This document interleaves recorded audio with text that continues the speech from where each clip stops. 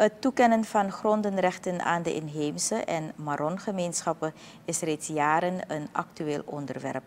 Om te komen tot een effectieve uitvoering van de grondenrechten is in september vorig jaar een presidentiële commissie ingesteld. Deze commissie bestaat uit regeringsvertegenwoordigers, notarissen, taxateurs en advocaten.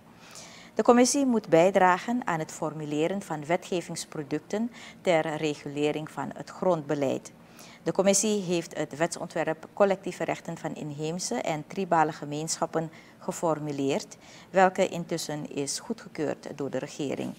Deze informatie is gisteren gepresenteerd door president Chandrika Persat Santokhi bij de afsluiting van een tweedaagse webinar over grondenrechten. Aan deze sessie hebben ook geparticipeerd minister Gracia Emanuel van Regionale Ontwikkeling en Sport, directeur Minu Parahu van het Amazone Conservation Team en voorzitter Patricia Meulenhof van de presidentiële commissie Grondenrechten. De regering blijft de hoofdverantwoordelijke voor de bescherming van de grondenrechten van de inheemse volkeren en Marons. Aldus president Santokhi.